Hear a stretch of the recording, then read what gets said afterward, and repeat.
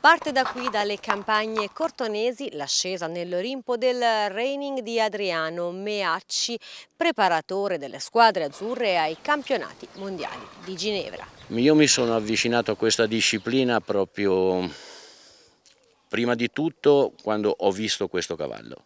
Ho visto questo cavallo, era il prototipo del mio ideale, di come doveva essere costruito un cavallo per lavorare.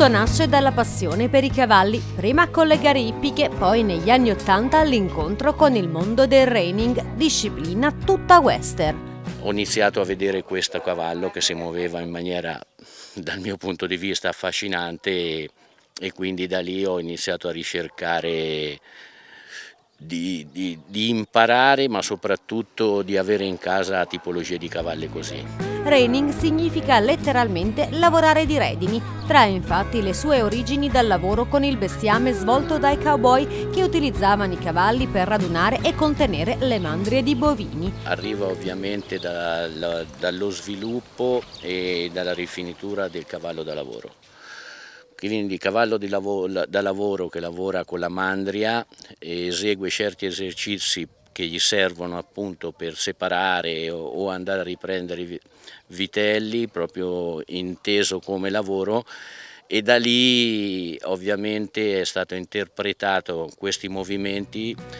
sono stati ripuliti, rimodificati. Potenza, equilibrio ed armonia, le qualità ricercate nei cavalli quasi esclusivamente di razza Quartet Horse. È costruito benissimo, è bilanciato benissimo, ha piombi giusti, incollatura groppa importante, infatti se lo vedi muovere si muove con una leggerezza eccezionale e a grossa altitudine.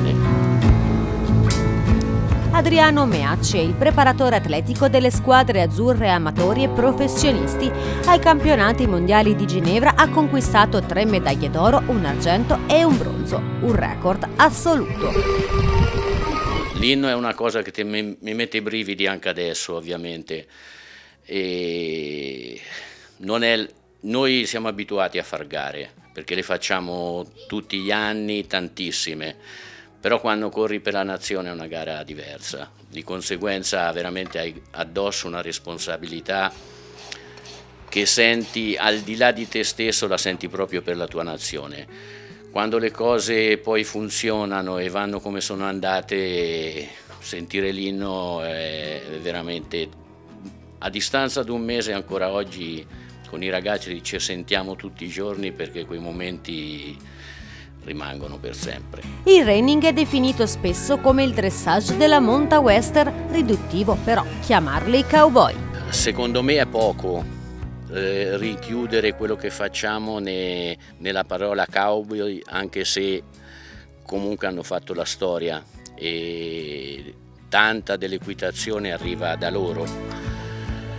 Siamo cowboy però poi chi ci conosce fino in fondo sa, sa che siamo anche persone che hanno un'etica sul cavallo, una, una gestione del cavallo quasi maniacale e che abbiamo destinato molti che fanno questa disciplina è diventato uno stile di vita perché ti riempie, ti, ti completa e poi non hai mai finito, quindi noi addestriamo i cavalli, io ho scambi anche con colleghi che fanno altre discipline, provando i nostri cavalli e l'addestramento che c'è sopra e subito dopo non ci chiamano più cowboy, ci, ci chiamano cavalieri.